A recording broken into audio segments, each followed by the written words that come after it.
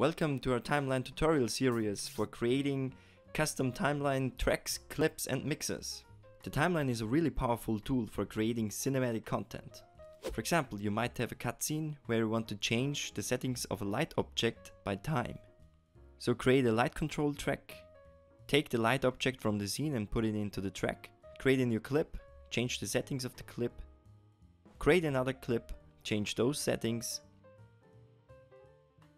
and blend the clips together to get a smooth transition between the two settings.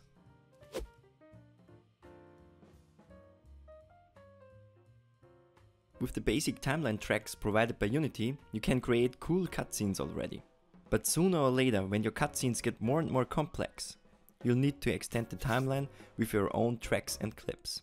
Follow the link in the description and download Unity's default playables from the asset store. Of course, you can use them in your cutscenes, but also as a reference for your own timeline scripts. The timeline API may seem a little bit complex at first glance. So before we jump into an example, I want to give you a little overview of the components needed to create your own timeline playables. Okay, for example, we want to change the lights in our cutscenes. Therefore, we need to make the light component animatable in the timeline. The first step is to create a script which inherits from track asset. The track asset represents a track in the timeline. Now you need to tell the track asset that its binding type is the light component.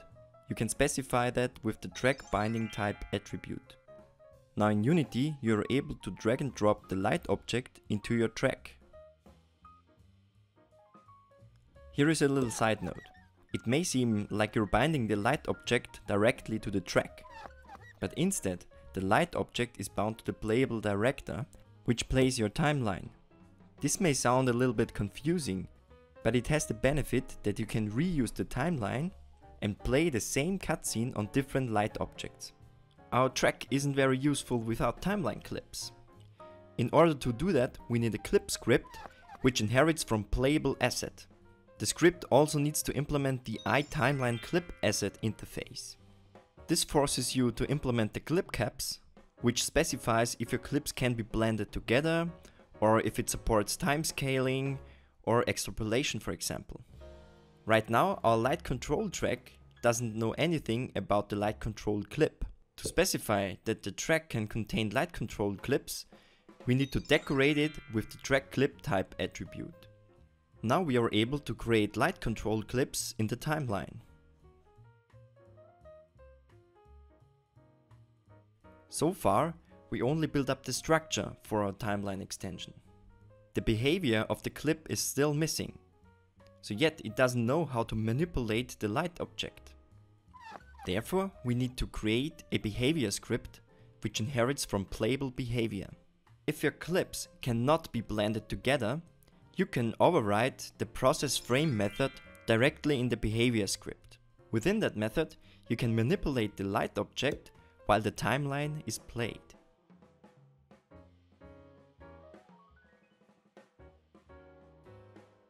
The behavior script only acts as a template for the clip script. So during preview mode in the editor, or during runtime when the timeline is played, the clip generates playable objects based on that template. Those generated objects are then processed in the process frame method. Often you want the smooth transition between one clip to another. In other words, you want to blend multiple clips together. It's not enough to use the process frame method of the behavior script, since it only acts on single objects. For blending multiple clips together, Unity introduced the so-called mixers. Like with our behavior script, a mixer also inherits from playable behavior and therefore overrides the process frame method. Now instead of processing only a single clip within the process frame method, the data of multiple clips is taken, blended together and the resulting value is written to the light object. To generate mixer playables, when the timeline is played during runtime or in preview mode, you need to override the create track mixer method within your track script. Thanks for watching the little overview of Unity's timeline. In the next tutorial, I'll show you a simple example of how to create your own tracks and clips for the timeline. If you liked it, please support us on Patreon, that would be really awesome. Otherwise, subscribe to a newsletter and YouTube channel. Yeah, and I wish you a nice day. It's your sensei.